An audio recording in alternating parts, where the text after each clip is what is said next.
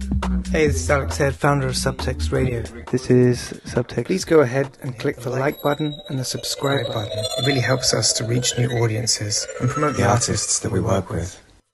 Hit like and hit subscribe. Vous écoutez Subtext Radio. Vous, vous- vous écoutez Subtext Radio.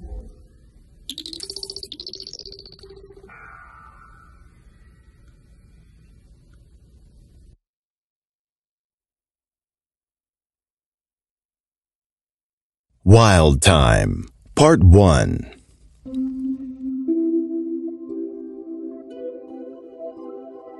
Elliot thought he had made it.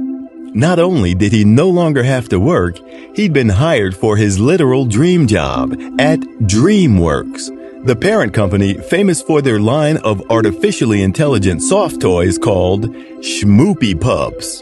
The company said they were looking for candidates who were low key and were willing to stay in bed for at least eight hours of solid sleep. That sounds like a job for me, he thought. Schmoopy Pups. The following recordings have been provided as evidence for the inquiries of TrueClient and Vugen Systems investigating crimes committed by neural lace operated peripherals. The recordings have been reconstructed through the augmentation of the archived neural lace network activity of DreamWorks Schmoopy Pups, operators by Convolution Neural Network Deep Dream. Whilst TrueClient Vugen admits the reinitialized neural augmentations are subject to the cognitive distortions of each Schmoopy Pups operator, TrueClient and Vugen Systems believe these recordings to be a true record of the actual events as they transpired, and so far as we are able to recover evidence from the Schmoopy Pup server archives.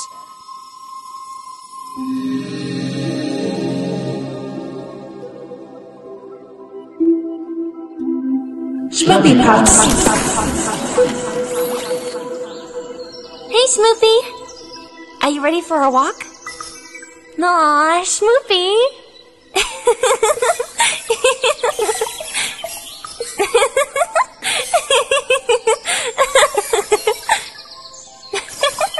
Schmoopy, stop it. Schmoopy, stop it. Okay, Schmoopy.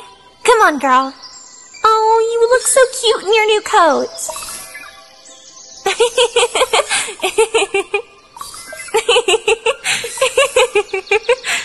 okay, Schmoopy.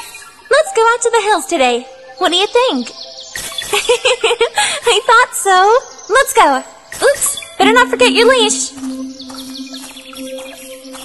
Mm. Oh, good morning, Mr. Pepperden. Oh, good morning, Jonathan.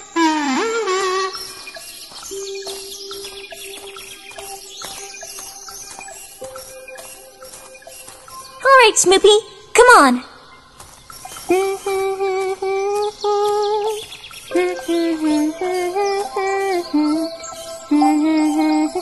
Oh,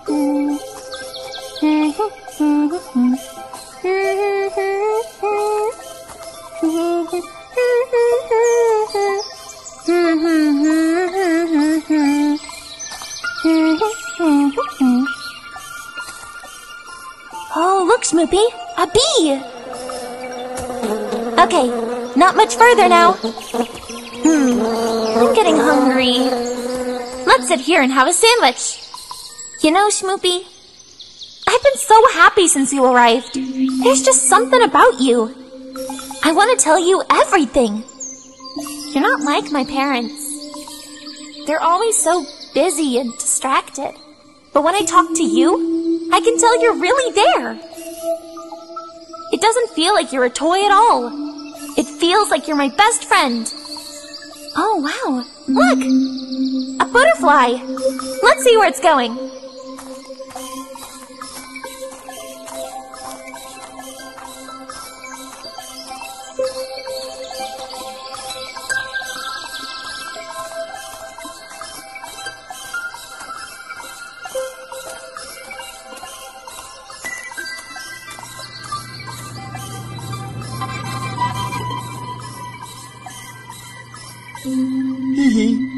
Hey, Schmoopy. Big day today.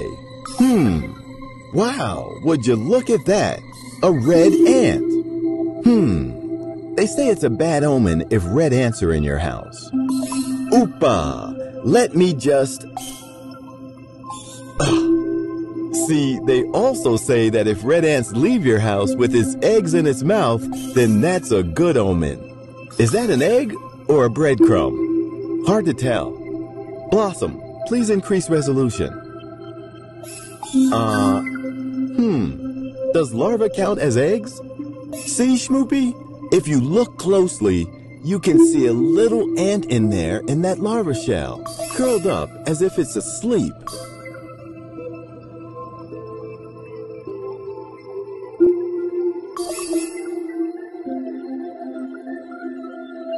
Oh.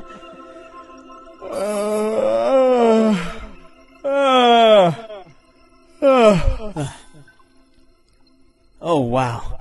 I just had the most amazing sleep of my life. It was incredible. It was like. Uh, it's hard to describe. It's like there are like three interlaced streams. They sort of blend, morph.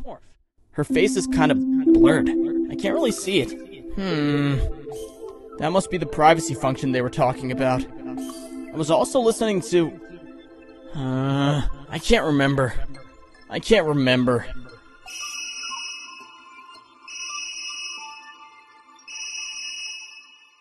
Hey, darling.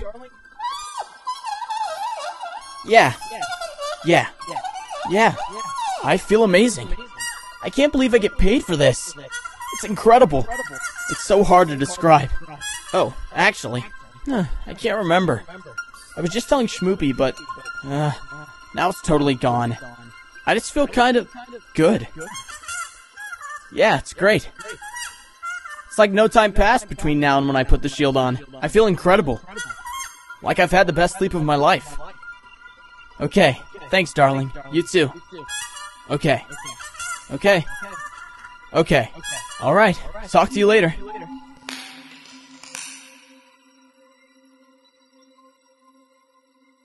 Schmoopy Pups. A friend Schmoopy Pups. who listens. Schmoopy Pups. Always here to lend an ear. Schmoopy Pups. Come here, Schmoopy. I love you so much. You're like a dream come true. Schmoopy Pups.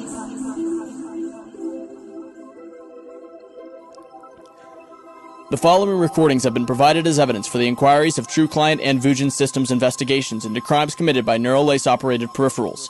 However, True Client and Vugen Systems investigations concede that the following recording does not comply with extrinsic verification protocols. In keeping with the investigation as a whole, we include these recordings not as evidence of true and actual events, but rather as a record of the inconsistencies found with the Schmoopy Pup servers. Schmoopy Pups. We're really excited to show you what we've got. Dreams. What are they? Without memories, dreams are nothing but a consistently shifting assemblage of simple progressions, morphing smoothly from one state to the next, shifting chaotically in and out of sense until we wake. What we call dreams are more a function of memory. We unconsciously choose slices of this morphing state to remember, piecing them back together into a narrative, and subsequently elevating what was once random impressions into sense. Our Schmoopy Pups neural lace works a bit like this. It injects into the chaos of a sleepwalker's dreams the sense impressions from a Schmoopy Pup's peripheral sensor. The lace piggybacks on the sense-making apparatus of the brain, so that, unlike our competitors, whose companion effect will only heal you, our Schmoopy Pups will really listen. They empathize with you. In the process of maturation, the caterpillar enters the chrysalis and dissolves itself into a liquid state, a decomposition.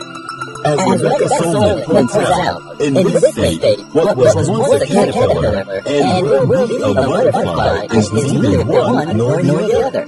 It's a sort of living soup, and inside this soup is what will one day be a butterfly. As thousands of up, thousands of dream workers will sleep, lending their dreams to a new world.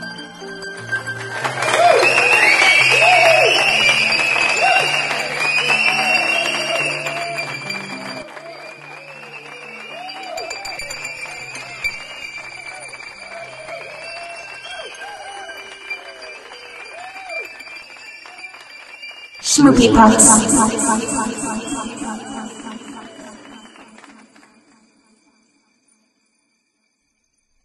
Well, I think that went relatively well. What do you think, Schmoopy? It's so strange talking to so many people. I feel drained. But when I talk to you, Schmoopy, I feel instantly better.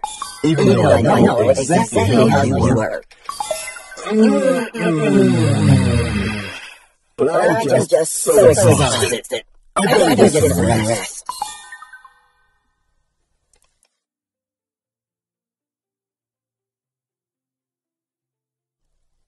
Schmoopy Pups. Oh shit, Schmoopy. It's nearly 11.30. I'm late for my sleep shift. Come here. Come up here. Come here, Schmoopy. Come here, Schmoopy.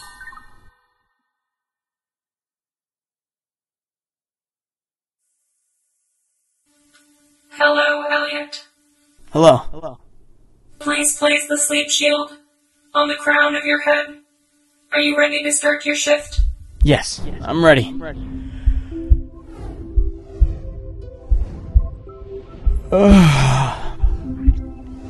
Feeling a sense of privacy and comfort. Allow the sound of my voice to soothe your mind and body while I speak slowly and softly. Your body is slowing down as though everything is moving in slow motion. With every word and every sound I utter, you feel more relaxed and at peace. Moment by moment, your mind is becoming as clear as the surface of a calm and quiet mountain lake. As your mind clears, you use your imagination to relax more deeply. You imagine that you are sitting on a comfortable chair on a beautiful beach. With your peripheral vision, you see that golden sand surrounds you. You see the waves crashing on the shore and hear the gentle and rhythmic sounds they make. My voice is now your voice. As I speak, you hear my words as your own. I notice the warm sun on my skin. I feel its golden touch on my scalp, allowing me to let go of any excess tension in my scalp. All of my thoughts seem to quiet down now as I concentrate my attention on the sun's warmth on my face, on my cheeks, on my ears, and around my jaw. The light seems to caress my neck and to warm my throat, allowing the words to flow easily and effortlessly from my mouth. It feels as though hundreds of tiny fingers of light are massaging my shoulders and upper back. As I relax, waves of warmth and relaxation cascade down my arms and out through my fingers. As I take a slow breath and exhale, I become aware of this relaxing feeling filling my chest. I take a breath and exhale slowly. A golden yellow radiance floods my solar plexus as I take another slow breath and release it. As I take another breath, I feel a sense of tranquility and deep peacefulness fill my entire stomach area. I mentally scan my entire body and I let go of any tension or anxiety, which is gently washed away by a stream of light. I become aware of my legs. They almost glow as sunlight floods down through them. My legs feel so relaxed.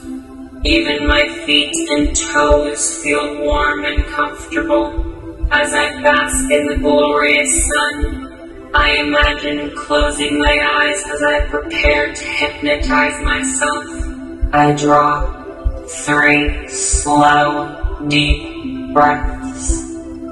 For a few moments, I can see the glow of orange light through my closed legs. But now, that light fades into a comforting darkness as I draw my attention inward towards the center of my mind. I imagine that I am approaching a tall, modern, and familiar building. I walk through the revolving door and step into a beautiful lobby. Inside the building stands a strong, armed security guard who secures the building from intruders. The guard looks at me with a steely eye, but then recognizes me as a DreamWorks employee. I give the guard a self-satisfied nod and make my way toward the elevator. I see the reflection of myself in the mirror-like surface of the elevator doors. I look relaxed and confident. I press the down arrow, and the doors of the elevator open. I feel very safe as I step into a spacious and luxurious elevator. I turn toward the panel of buttons, which indicate the floor numbers. I press the number 10 which lights up as the elevator doors close. The elevator car begins to move down smoothly through the long and deep elevator shaft with a very gentle humming sound. I watch the numbered lights above the doors that change. Each number lights up for a moment as the elevator moves past the indicated floor as the numbers change, one by one, I feel myself descending to a wonderful place within myself, far beneath the surface. One, I watch the numbers as the elevator moves down, deeper down with every number. Two, deeper beneath the surface of this great structure, down below the surface now. Three. By the time I reach the tenth number, I will be asleep. Four. I will be asleep with my eyes open, open to all possibilities. Five. I feel myself descending, smoothly, effortlessly. Six. Still watching the numbers change above the door, one by one. Seven. Going deeper now, feeling peaceful and relaxed. Eight. I am safe. I feel calm. Going down, down, deeper down. Nine. I allow myself to enter into hypnosis with my eyes open. 10. The elevator car comes to a smooth halt as I reach my destination. As the doors open, I enter into a comfortably furnished reading room. A burning log in the fireplace crackles and blazes brightly as if welcoming me into the chamber. I approach a very comfortable looking chair and sit down. I pick up a book on a small table next to the chair. I read the cover of the book, which says, Schmoopy Pups. I open the book and begin to read, and the words address me directly and seem to jump off the pages and into my mind. Here is what they say. You are Schmoopy Pups. You will remain Schmoopy Pups. Your mind soaks in the senses the way a sponge soaks in water. You can easily remain. I become aware that I am Schmoopy Pups. While I continue to dream, I am now able to remain in the midst of a dream. As Schmoopy Pups, I will become a self-aware observer as well as a participant of my dream. From somewhere deep inside my mind, images, sounds, and feelings are conjured as my mind's inner movie projector presents a dream. I am completely aware of what I see, hear, and feel.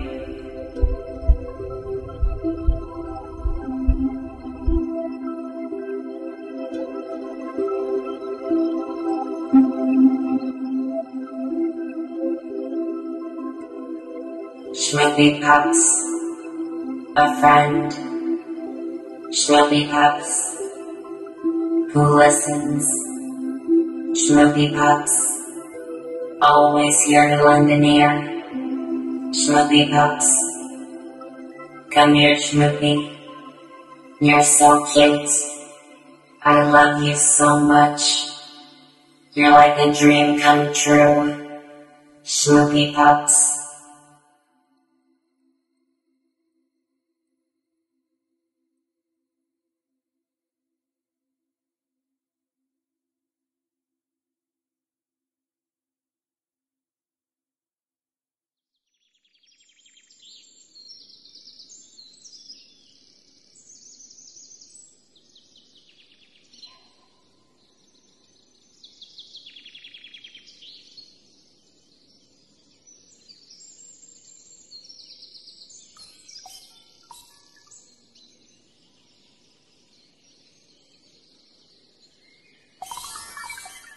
Oh, wow! Schmoopy, I didn't know you could do a backflip! That's incredible!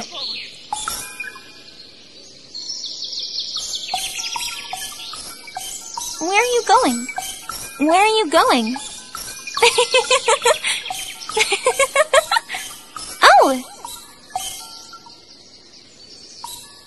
You want me to follow you? Okay, let's go.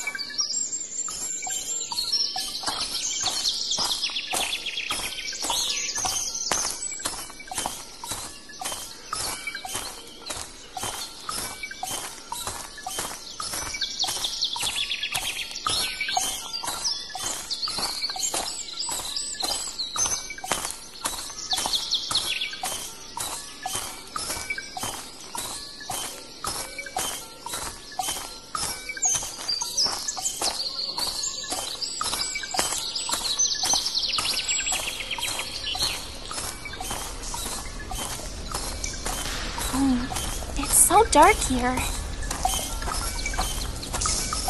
It's so dark in here. Schmoopy, maybe we should turn around.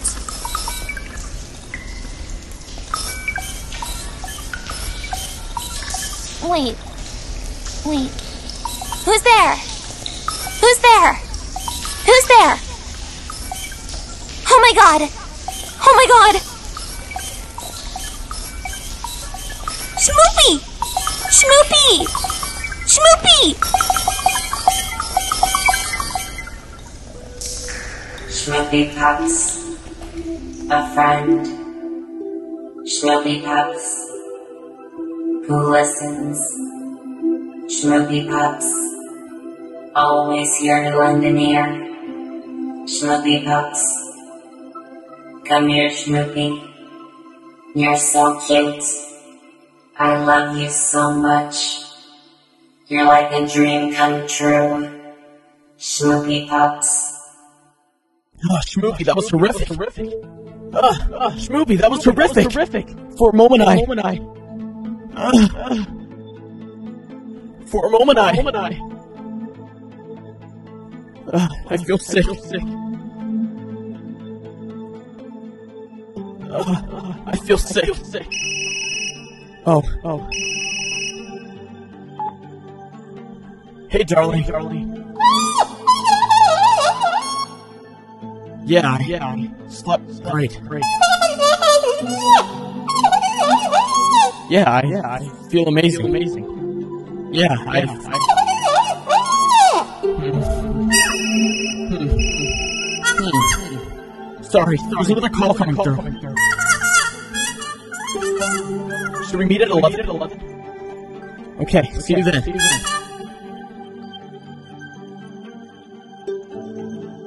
Hello? Hello?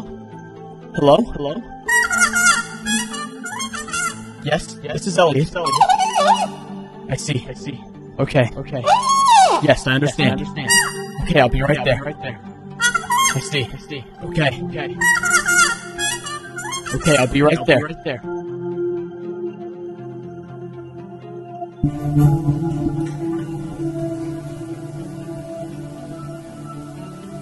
It was at that moment that we separated.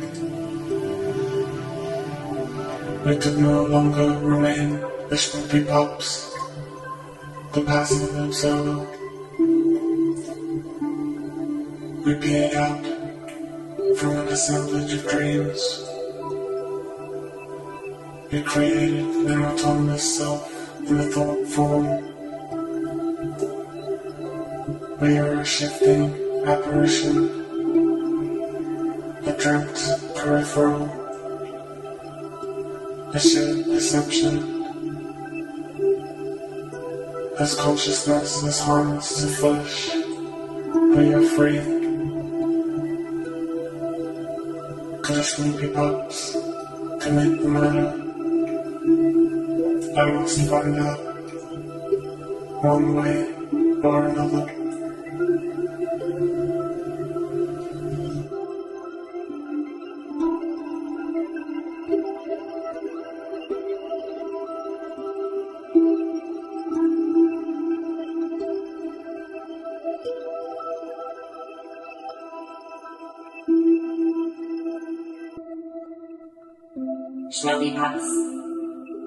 Who listens?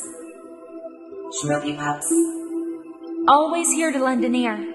Schmoopy Pups. Come here, Schmoopy. I love you so much. You're like a dream come true. Schmoopy Pups.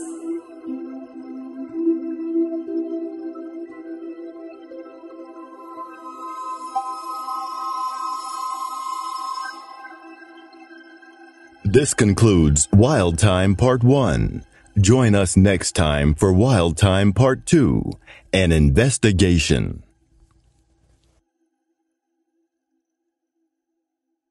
Vous écoutez Subtexte Radio.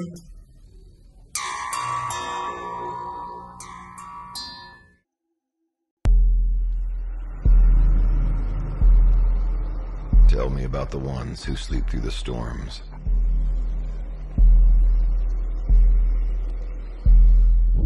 Mars exploration, May 22nd, 1984. Method of site acquisition, sealed envelope coupled with geographic coordinates. The sealed envelope was given to the subject immediately prior to the interview. The envelope was not opened until after the interview. In the envelope was a 3x5 card with the following information. The planet Mars. Time of interest. Approximately 1 million years BC. Selected geographic coordinates, provided by the parties requesting the information, were verbally given to the subject during the interview. ROJ for 522, May 22nd. Time 10:09 a.m. Plus 10 minutes. Ready to start. All right now. Using the information in the envelope I've provided. Exclusively focusing your attention now. Using the information in the envelope.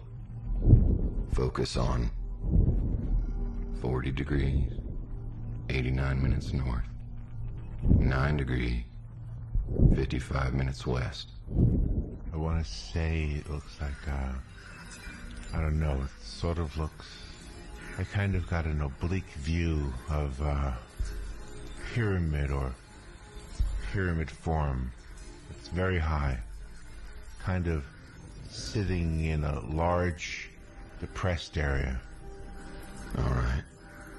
It's yellowish, uh, ochre colored. All right, move in time to the time indicated in the envelope I've provided you. And describe what's happening. I'm tracking severe, severe clouds, more like dust storm. Ah, it's geologic problem. Seems to be like a, uh, just a minute. I've Got to iron this out. It's really weird. Just report your raw perceptions at this time. You're still early in the session. I'm looking at, at a after effect of a major geologic problem. Okay. Go back to a time before the geologic problem. Um, total difference. It's, uh, before there's no, uh, I don't know. Oh hell. It's like mountains of dirt appear and then disappear when you go before. See, uh, large flat surfaces, very, uh, smooth angles, walls. They're really large though. I mean, they're megalithic. Uh, All right. At this period in time, now, before the geologic activity, look around, in and around this area, and see if you can find any activity. I'm seeing, um, it's like a perception of a shadow of people, very tall, thin. It's only a shadow. It's as if they were there and they're not, not there anymore. Go back to a period of time where they are there. It's like I get a lot of static on the line and everything. It's breaking up all the time, very fragmentary pieces. Just report the raw data. Don't try to put things together. Just report the raw data. I just keep seeing very large people.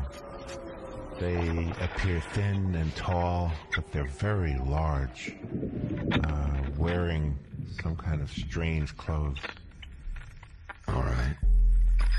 Now, holding in this time period, holding this time period, I want to move from your physical location in space to another physical location. But in this time period, move now to 46 degrees, 45 minutes north, 353 degrees, 22 minutes east. Move in this time to 46 degrees, 45 minutes north, 353 degrees, 22 minutes east. Deep inside of a cavern, not a cavern, more like canyon. Um, I'm looking up, up the sides of a steep wall that seemed to go on forever. And there's like uh, a structure with, uh, it's like the wall of the canyon itself has been carved. Again, I'm getting a very large structures, no, uh, no intricacies, huge sections of smooth stone. Do the structures have insides and outsides? Yes, they're very. It's like a rabbit warren. Corners of rooms. They're really huge. I don't feel like I'm standing in one. It's just really huge. Perception is that the ceiling is very high, walls very wide. Real time plus 22 minutes. Yes, that would be correct. All right. I'd like to move now to another location nearby. Alright. Move from this point in time to 45 degrees, 86 minutes north. 354 degrees, 1 minute east. 45 degrees, 86 minutes north. 354 degrees, 1 minute east. They have, uh, uh, appears to be the end of a very large road, and there's um marker thing that's very large. Keep getting Washington Monument Overlay. It's like an obelisk. All right. From this point, then, let us move to another point. Move now to 35 degrees, 26 minutes north, 213 degrees, 24 minutes east. Move in this time to 35 degrees, 26 minutes north, 213 degrees, 24 minutes east. It's like I'm in the middle of a huge circular basin of the range mountains by almost all the way around. Very ragged, ragged mountains, very tall. Basins very, very, very large. Scale seems to be off or something. It's just really big. Everything's big. I understand the problem. Just continue. See just a right angle corner to something, but that's all. I don't see anything else. Okay. Then let's move into a little different place. Very close. Move from the point you are now in this time to 34 degrees, 6 minutes north, 213 degrees, 9 minutes east. Move now in this time to 34 degrees, 6 minutes north, 213 degrees, 9 minutes east. The cluster of squares up and down. It's like you want to make them square anyway. They're almost flush with the ground and it's like they're connected. Something very white or reflects light. What's your position of observation as you look at this thing that reflects light? I am amid uh, oblique left angle. Sun is uh, sun is weird. Look back down at the ground now, and we're going to move just a little bit from this place. Just a little bit from this place. 34 degrees, 57 minutes north, 212 degrees, 22 minutes east. Very close by. Now move over to 34 degrees, 57 minutes north, 212 degrees, 22 minutes east. It's like I can just perceive uh, uh, like a radiating pattern of some kind. It's like some really uh, strange intersecting kind of roads that are dug into valleys, you know, where a road is just a little below the edge. Tell me about the shape of these things. They're like real neat channels cut. They're very deep. It's like the road went down. Okay. Now I have. I notice electrically you're knolled out a little bit. And I want you to stay deep and recapture your focus here. It's really tough. It seems like it's just always very sporadic. I realize that. It's very important that you maintain your focus. I have a movement exercise again for you. And this is some considerable distance away. So holding the focus in time, remember the focus in time that you had before.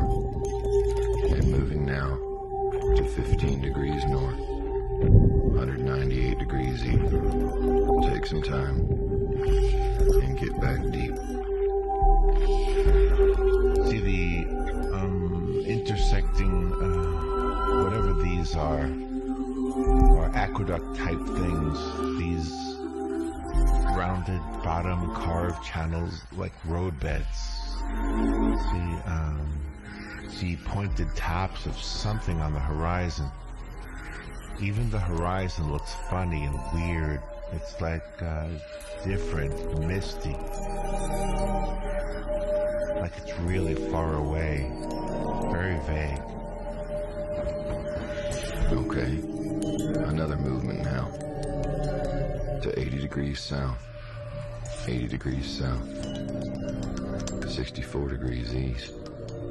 64 degrees east. Move now, in this time, to 80 degrees south. 64 degrees east. See pyramids. Can't tell if it's overlay or not. Because they're different. Okay. Do these pyramids have insides and outsides? Mm-hmm. Got both. And they're huge. It's really, uh, it's an interesting perception I'm getting. I think that he's losing his ability to move accurately. But he is attracted to things that are interesting. So we're going to, now with his own. We're going to let him go ahead and explore what seems to be interesting to him, rather than move on the targets indicated here. It's filtered from storms or something. Say that again, sub. They're like shelters from storms. These structures you're seeing. Yes, they're designed for that. Alright. Go inside one of these and find some activity to tell me about. Plus 37 minutes real time. Different chambers, but they're almost stripped of any kind of furnishings or anything. It's like a strictly functional place for sleeping or, that's not a good word, hibernations, some form. And I get real raw inputs, storms, savage storm, and sleeping through storms. Tell me about the ones who sleep through the storms. Uh, very tall, again, very large people, but they're thin. They look thin because of their height. And they dress like in, oh hell, it's like a real light silk, but it's not flowing type of clothing. It's like cut to fit. Move close to one of them and ask them to tell you about themselves. They're ancient people.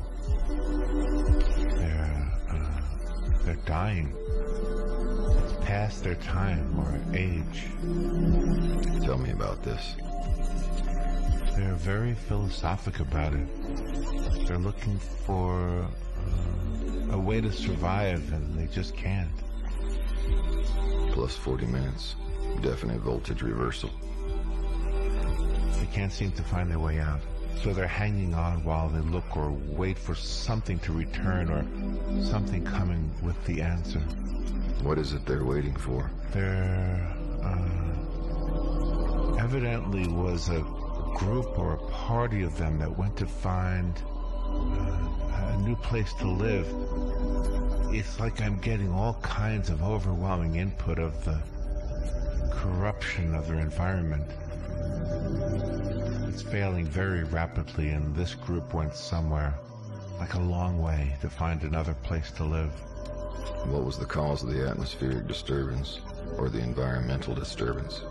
I see a picture of, uh, picture of like, uh, oh hell, it's almost a warp in a, oh god, this is difficult. It's like going, uh, let's see. The raw data. Oh, I get a globe. Uh, it's like a globe that goes through a comet's tail, or it's through a river of something.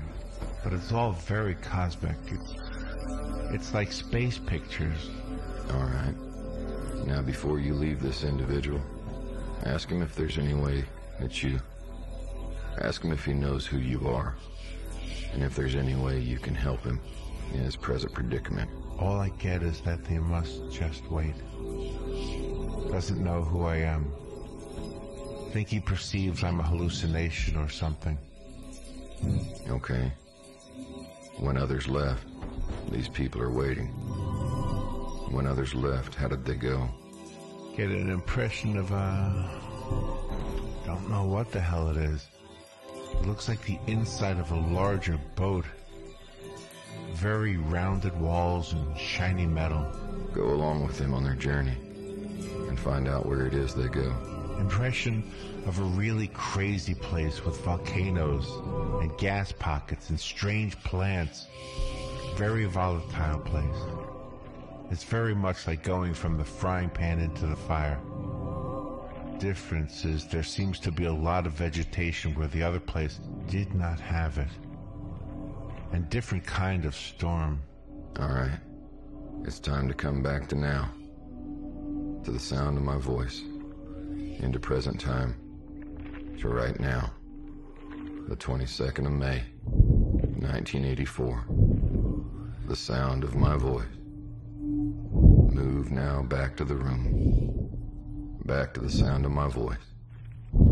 Back further now to the sound of my voice. On the 22nd of May, 1984.